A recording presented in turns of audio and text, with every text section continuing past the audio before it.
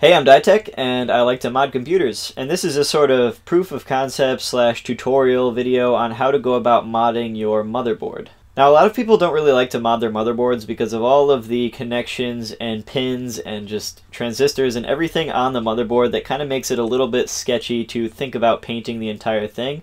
But it is absolutely possible. I know a lot of people do paint their heat sinks and their connection points and things like that different colors, but it is totally possible to paint the entire PCB. And I'm going to be proving that in this video in hopefully a pretty aesthetically pleasing manner. Now, there are a couple things that you have to worry about when you're painting your motherboard PCB, and that is heat and conductivity. On most boards, there are heat sinks that go over parts of the board that get pretty hot, and you don't want to paint underneath where those heat sinks attach to. There will usually be, if you unscrew the heat sink, there will be a thermal pad that goes on top of some MOSFETs underneath the heatsink. You don't want to put any kind of insulating layer on top of the MOSFETs underneath your heatsinks, like paint for example, because those MOSFETs need to dissipate heat effectively in order to prevent your motherboard from overheating and potentially shutting down. And besides that, you don't want to use any kind of conductive layer or coating over the top of your PCB like uh, paint with metal chips in it, for example, because you could potentially ruin your motherboard and waste a lot of money.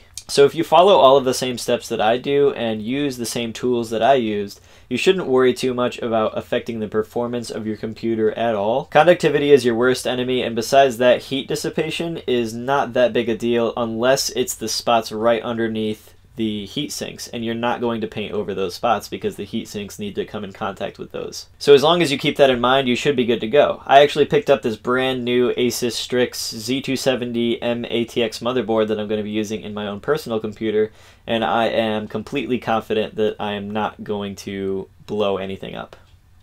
So the bread and butter of this mod is this acrylic conformal coating, which basically just puts a protective, non-conductive layer over the top of your motherboard. And so when we paint our motherboard, we're not actually going to be painting the motherboard, we're going to be painting this clear coat that we put on top of it. Of course, there are components on the motherboard that we can't put any type of coating or paint or anything like that over, such as all of the connections that allow you to plug in your RAM sticks, your graphics card, all of these plugs here at the bottom, the USB plugs, everything like that. Obviously, we can't spray over the CPU socket or any of the I.O. ports. I guess what I'm trying to say is you're going to spend like two or three hours just taping things off and making sure that they're not going to get spray painted and then about five minutes actually spray painting. Don't worry about having to tape over all of these connection points. If you want to paint them, you absolutely can, but this is not the step that you do that. We're just going to be putting a flat black layer on top of this motherboard and then coming back in later to touch it up and add details and things like that. And I should also mention that I'm using Rust-Oleum Automotive Enamel to paint the motherboard and frog tape and vinyl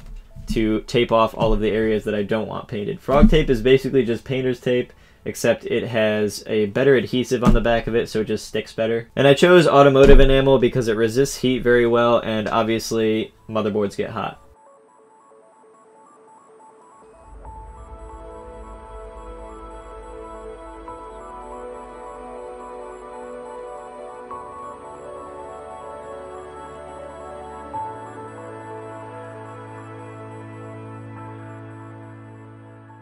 By the way, the little dots that surround the motherboard standoff screw holes are there to ground your metal screws, so don't cover those up with any kind of spray because they need to come in contact with the screws.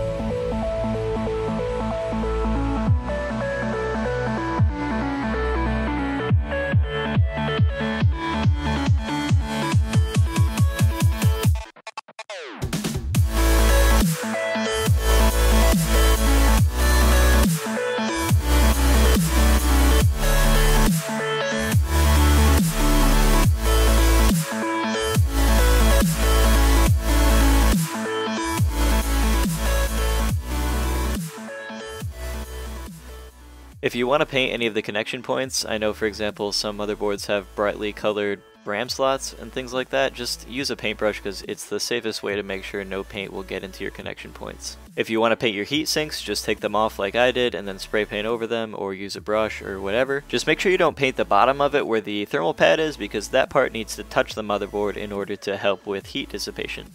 So the paint job came out awesome and the computer behind me is actually using the motherboard that I painted and I've been using it for a day or so now.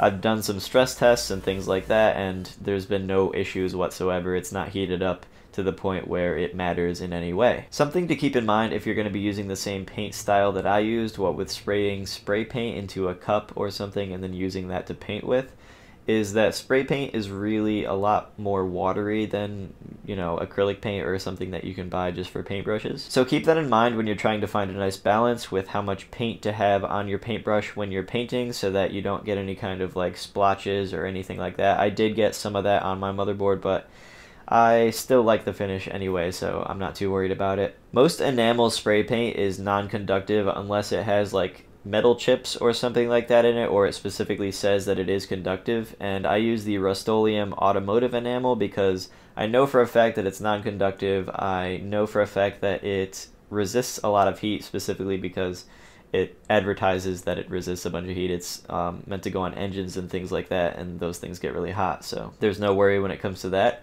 And the acrylic coating that I used is also plenty heat resistant enough to put on your motherboard. It's not going to be an issue whatsoever. It's obviously non-conductive. That is the whole point of it in the first place.